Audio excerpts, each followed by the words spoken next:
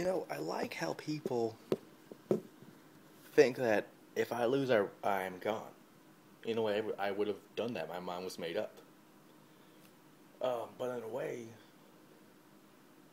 I still have a few contractual obligations to finish, and I'm, and I'm not trying to dodge this at all. If it was my choice, I would say fuck them, fuck, fuck them all, and leave. But that's not the guy I am. So like, yeah, if I did lose a trank, I would still stay retired. But then again, in the next couple months, we have what? We have a Grode's uh, Cage Force Wrestling or something like that, and I'm going to be a part of that in a little bit. And uh, and and and don't and don't say it's bullshit because it's true. I I was like the first one to sign up from that mail. I don't know if I am or not, but I, I was one of the first people to do it. So I'm like, yeah, let's do this. I mean, I mean, it's it's fucking SVR all over again.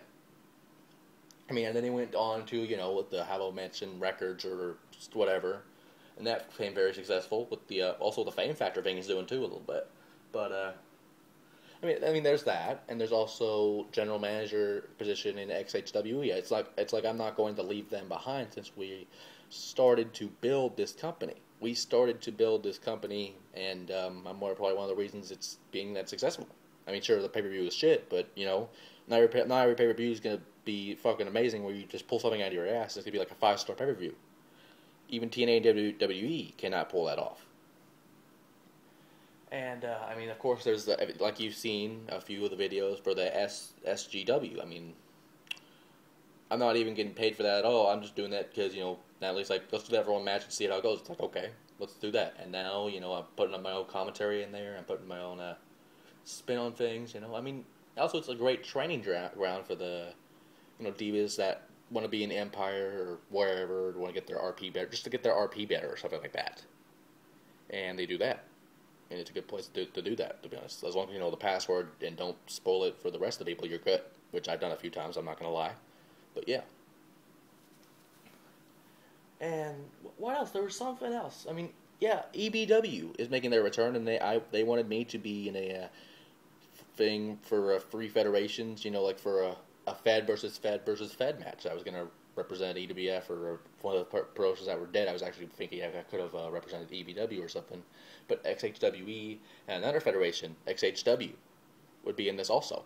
That's going to be a cool match. I mean, so I mean, even if I do, and I'm not trying to make excuses, because if it was up to me, I would say, sorry guys, I said what I said and I meant it. I was going to leave forever. But in a way, if I do lose to you, Trank, and there is a slim chance that I will, then yes, I will stay retired and only have a match for those specific things that I just talked about.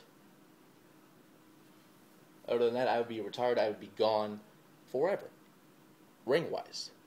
Management wise, I don't know. Other stuff, I don't know. We'll see about that. But Trank, do you really know what you're getting into? I mean, it's a strap match. A naked oil strap match, for God fuck's sake. So, really, do you know what you're getting yourself into? Because I know what I'm getting into. I've been training in the gym every day for this. Probably what not the best shape of my life, but pretty da- pretty damn close to it. And sure, the pain's gonna hurt, but I mean, dude, I have everything to lose. Virtually, barely anything to gain. You have nothing to win. Although you would be the first one to retire, yours truly. But you barely have nothing to lose other than a little bit of respect from the boys in the back and that's not that bad of a deal there, but honestly, do you really think you can beat me? Sure, you're 4 and 2 in our little rivalry thing right now. But I can turn it around just like that. This is my kind of match. There is no way I'm losing to you, Trank Jericho. I don't care who's trying to interfere because I can't do a shit damn thing because they can't come in. We made sure of that no, no, nobody from my side either. And hell, there's people that wanted to manage me because just because of the Tracy Brooks, Brooks thing. That was kind of retarded too, since she's gonna be gone. But that does give me an idea for when I do kick your ass, Trank. And when I do, we'll see what happens with that idea and see if it still works. But for now, we are like, what, 24 hours away? Close enough to it for this pay per view match, and I am ready for it.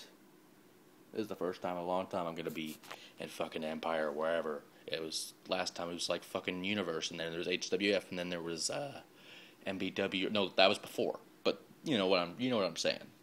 This is my first time around these kind of matches. I have all my bases covered. You don't. I want to wish you the best of luck because you're going to need it, boy. You're going to need it. If all this trash you've been talking the past few weeks, sure, it gives you a few fucking brownie points with the divas and with management and with people. But until you do something, until you make a name for yourself, all that means nothing. Absolutely nothing. And let's see if you can keep up with me. Because what I'm thinking, Frank, it'll be uh, total domination on your part. But talk is cheap. My actions in the ring will speak louder than my words. So, Trek, let's see what you can do, buddy. Old friend, old pal, because I don't think you can do a damn thing about it. And there is actually two things you can do that is nothing and like it. Peace out.